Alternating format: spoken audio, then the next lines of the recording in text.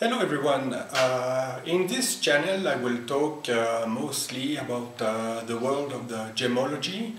Uh, I am working uh, here in uh, my lab in Mexico City and I have seen so many tricks, so many fake on the, on the market.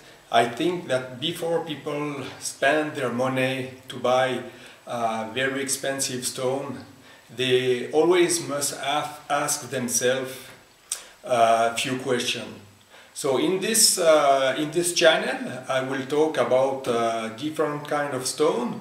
Of course it is not always easy to, uh, to manage to have the, the sample to, to show you but uh, I will do my best to give you uh, good information, uh, last information about the treatment, the tricks, and uh, what you can expect to find in the, in the market.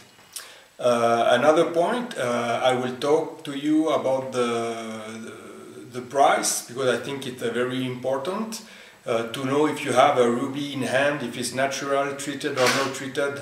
That is uh, one part of the deal, but uh, of course the price is very important.